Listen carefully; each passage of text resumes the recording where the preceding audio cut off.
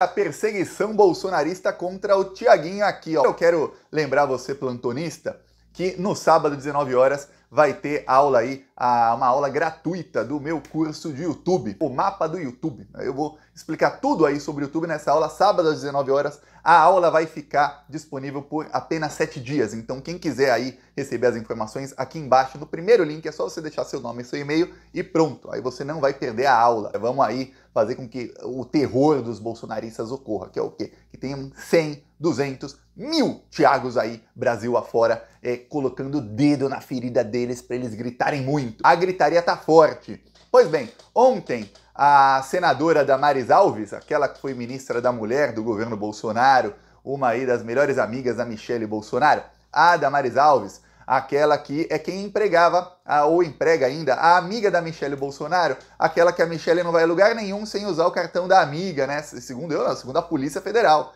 Michelle usava o cartão da amiga e depois pagava a fatura do cartão da amiga com dinheiro do cartão corporativo. Pois bem, essa mesma Damaris Alves, aquela que empregava o Oswaldo Eustáquio, a Sara Winter, Sara Giromini, né? E, e outros aí que participavam aí de atos antidemocráticos, ela entrou com um pedido ao Alexandre de Moraes, aquele que os bolsonaristas queriam matar caso desse um golpe de Estado, dizendo que eu, Tiago, tenho que ser preso e que eu tenho que ser adicionado ao inquérito das milícias digitais, eu tenho que ser investigado. E aí criaram aí os bolsonaristas a milícia de um homem só. O meu amigo José, do Portal do José, até falou, pô, esse é o gabinete do ódio que só tem um homem, o gabinete de um homem só. Eu tô vendo agora é a milícia de um homem só, só eu, a milícia digital aqui.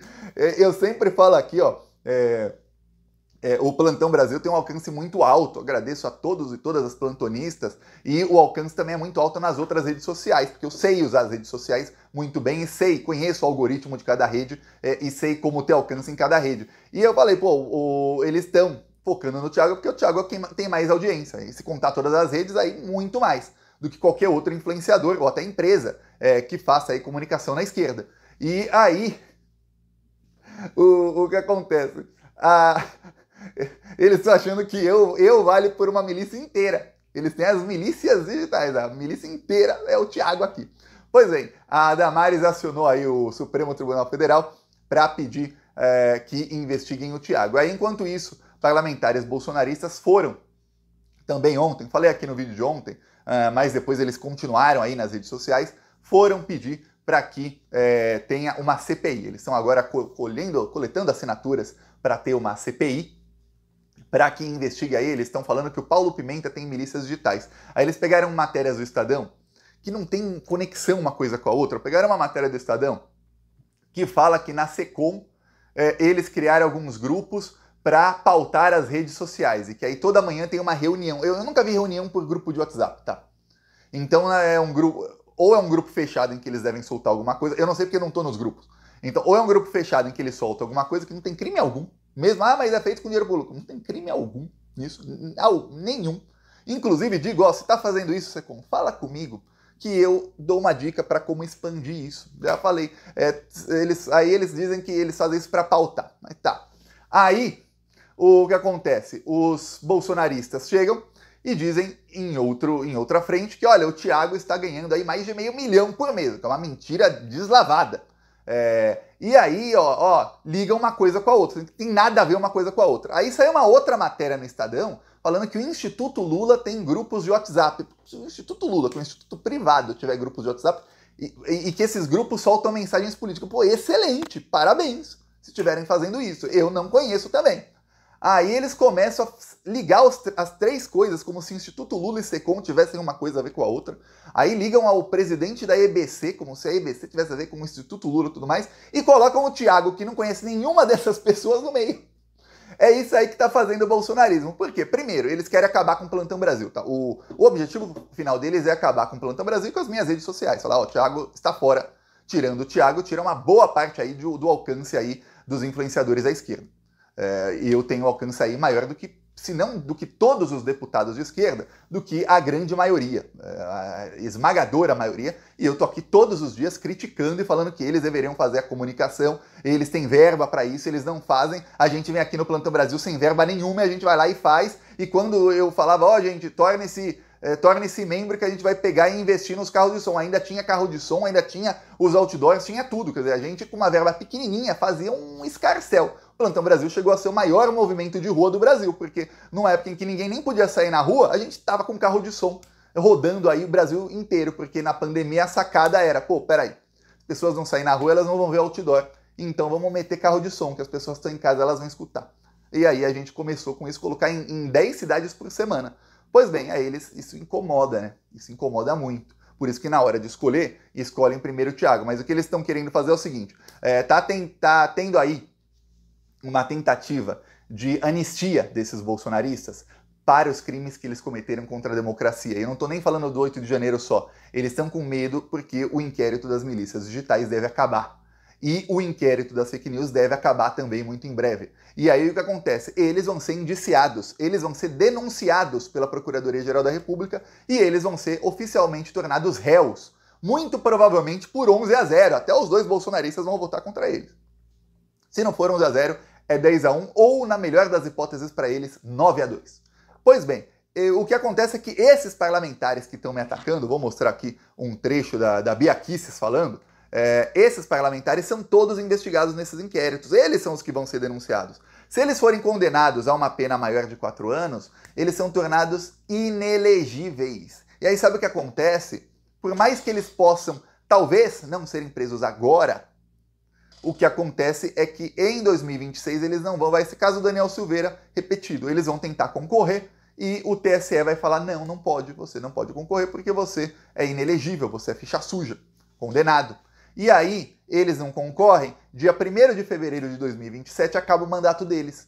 E aí eles não vão estar reeleitos. E aí, dia 1 de fevereiro de 2027, às 5 e meia da manhã, estarão já algemados, como estava o Daniel Silveira no dia 1 de fevereiro de 2020, 2023. Acabou o mandato dele meia-noite. Às 5h50 da manhã, ele já estava algemado dentro do camburão. É isso que aconteceu e é isso que, que vai acontecer aí com muitos desses que estão aqui, ó, Carla Zambelli, Felipe Barros, Caroline de Tone, esse, esse, esse aqui que estava disseminando fake news lá sobre o Rio Grande do Sul, é esse mesmo? Esse que foi lá num jet ski, com duas crianças no jet ski lá no Rio Grande do Sul e cinco lanchas vazias filmando ele. Só ele rindo assim, as crianças chorando que perderam tudo. Esse aqui. Aí, Bia Kisses, Feliciano, a comunicação ao gabinete do ministro Alexandre, não porque a gente concorde com esse inquérito das milícias digitais.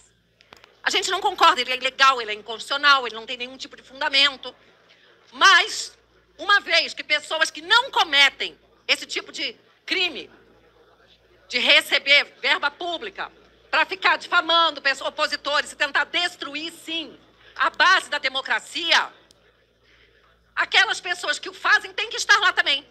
Então, não concordamos com o inquérito, mas concordamos menos ainda que só um espectro político seja investigado e perseguido. Por tudo que o deputado Felipe Barros, nosso líder da oposição, falou, tudo que ele mostrou, nós podemos ver que tem fatos, fatos concretos, e esses fatos é que deverão ser investigados nessa CPI da milícia do PT.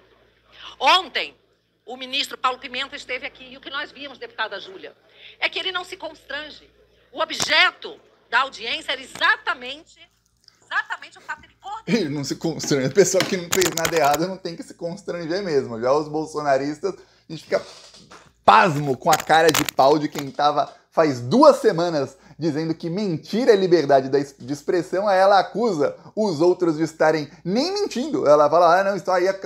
Ela até chegou e falou que não, eles estão atacando inimigos. Nem falou que era ataque com mentira, só ataques. Então nem ela nem chegou a falar estão mentindo.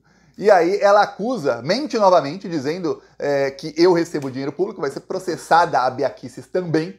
Vai ter que provar que eu recebi algum dinheiro público, que eu nunca recebi nenhum, um centavo, nada, nada, absolutamente nada.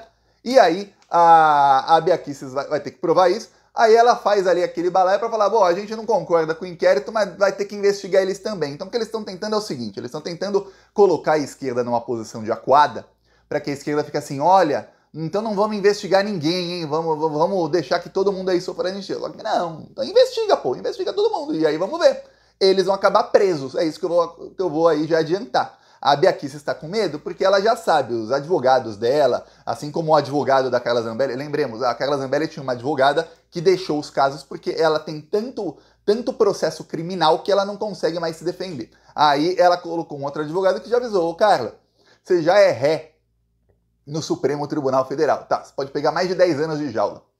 É, você vai ser presa, no máximo, no dia 1 de fevereiro de 2027, às 6 da manhã. É o máximo aí que você tem de liberdade, viu, Carla Zambelli? Então aproveita aí que você tem. A não ser que você faça uma reviravolta aí no que está acontecendo. Então esses outros aí, Eduardo Bolsonaro, Eduardo Bolsonaro ele está no relatório que deu início ao inquérito das milícias digitais, porque a Polícia Federal apontou Jair, Carlos, Eduardo e Flávio Bolsonaro, quatro membros da família Bolsonaro, como chefes de milícias que estavam ali atuando online, ou seja, digitais, é, com o objetivo de enfraquecer a democracia. Enfraquecer como? Segundo não eu, Thiago, segundo a Polícia Federal, por ataques às instituições, principalmente ao Supremo Tribunal Federal. Aí não sou eu, é a, é, é a Polícia Federal. A Polícia Federal não falou, nossa, o Thiago está atacando a democracia. Não, pelo contrário, né, colocando aqui a cara para defender a democracia dessa bandidagem toda. Peço novamente aí a sua inscrição no canal, porque olha,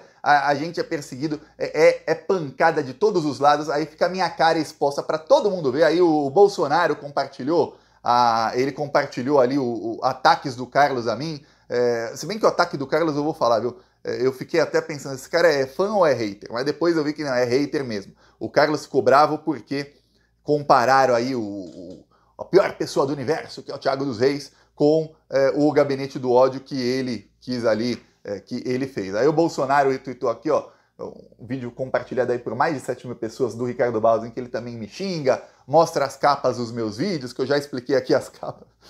A melhor é a capa da Michelle beijando outro homem. Peço aí a sua inscrição, compartilhe esse vídeo, vamos compartilhar a verdade.